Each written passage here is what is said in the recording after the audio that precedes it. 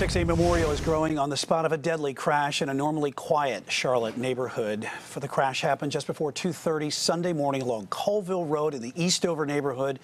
Fox 46's Jamal Goss spoke to the father of one of the victims on how he's remembering his son.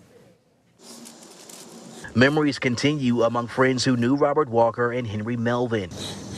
Police say Walker was driving a Mercedes Benz at a high rate of speed on Colville Road this weekend and may have been impaired when he ran off the road, hitting and uprooting this tree. Police say the car caught fire and two other passengers went to the hospital with serious injuries. Melvin and Walker died on the scene, both in their 20s. They didn't deserve this because if you ask anybody how to describe them, they were just genuinely happy and kind.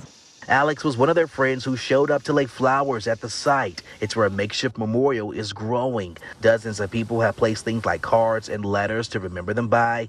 Others stop to take pictures and pray while drivers pass by slowly. Fox 46 was there when Melvin's father visited the memorial. Off camera, he says he will miss his son dearly and his heart goes out to the other families. We all love them so much and they're never going to be forgotten. They're always going to be watching over us. As cleanup crews removed the debris left behind, parts of the car remained on the scene. Neighbors say they're heartbroken by what has happened, but it's not uncommon that speeding was a factor. Meantime, heartfelt messages like this continue to grow at the memorial. They were friends to so many and impacted the lives of so many. And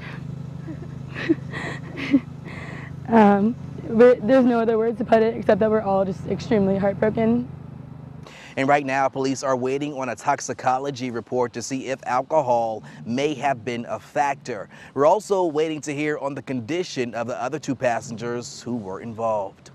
In Charlotte, I'm Jamal Goss, Fox 46.